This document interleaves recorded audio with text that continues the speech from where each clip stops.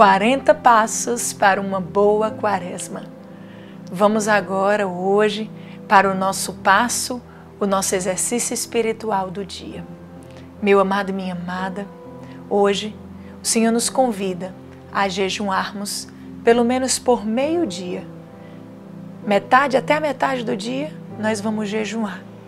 Esse é o nosso propósito, o nosso exercício espiritual de hoje e também vamos rezar pelos sacerdotes da nossa diocese, da sua diocese, de onde você mora.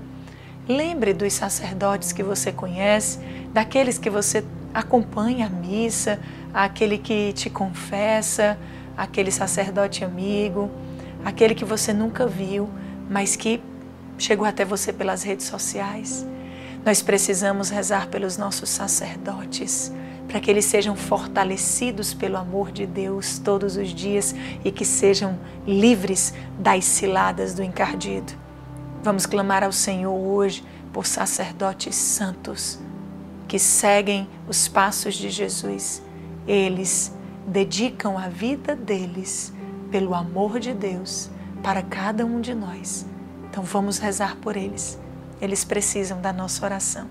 E também pelos seminaristas que serão, em nome de Jesus, futuros sacerdotes.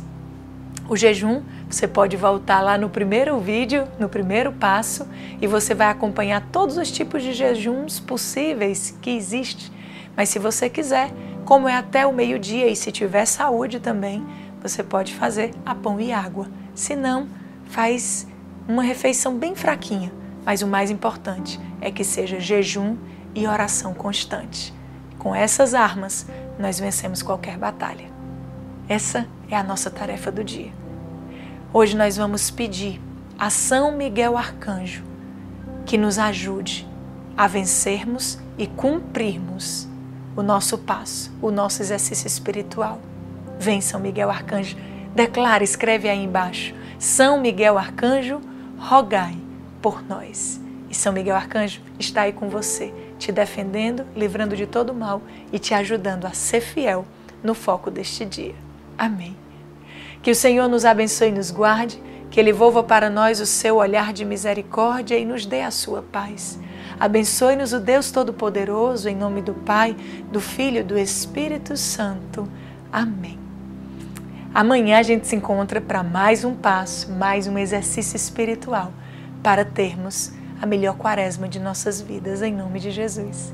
Compartilhe esse vídeo, espalhe a bênção para todos. Se inscreve aqui no nosso canal, ative o sininho e deixe o joinha.